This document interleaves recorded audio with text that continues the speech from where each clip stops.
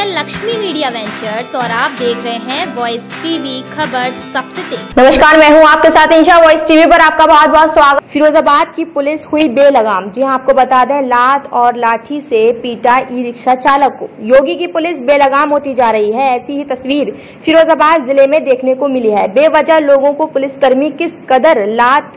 और लाठियों से सरेआम पिटाई कर रहे हैं पुलिस की दबंगियाई की करतूत सीसीटीवी कैमरे में कैद हो गई है सरेआम लात और लाठी से पिटते हुए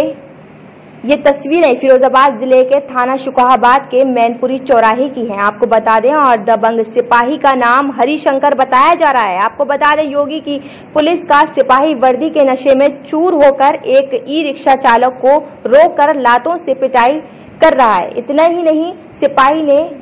लाठी से भी उसे पीटा है